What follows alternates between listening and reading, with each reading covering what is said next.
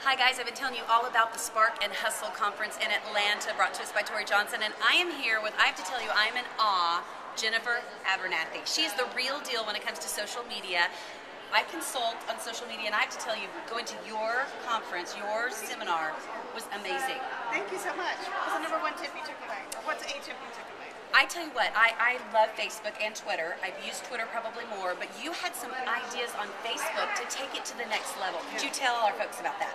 Well, one, of the big things is, you know, as American sales stylist, I tell people bring your own sales style to the Facebook page. You know, don't have to be, copy other people. Bring yourself to it. Mm-hmm. You know, engage your followers. Don't just, you know, sell, sell, sell engage them. Because people want to do business with people that they know, especially in this economy. Exactly. Now you showed how we could um, do some extra special things, extra programs that we can use on Facebook to really let people get to know us better. Mm -hmm. Yeah, one is I like is uh, Audio Move. It's audio and bring audio to your Facebook page, which is really fun. And so you can have a message of the message of the week, and people tune in. That is awesome. All right, the one twi- tip, one twit for Twitters, the one tip for folks who Twitter out there, because you and I both love to, right, to tweet. Right. What advice do you have?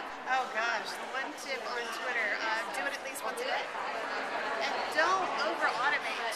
So many people automate their tweets, which is okay, but some people overdo it. So there's a, a tweet coming every five minutes, and that turns a lot of people off.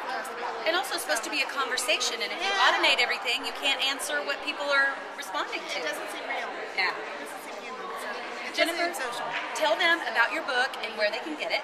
Sure, it's The Complete Idiot's Guide to Social Media Marketing, 332 pages that I wrote in five months. Wow. But all my tips and secrets are there, so I encourage you to support Amazon. And your website? TheSalesLounge.com. Sales Lounge. I'm telling you, The Sales Lounge. Remember, Jennifer, I'm telling you, the real deal.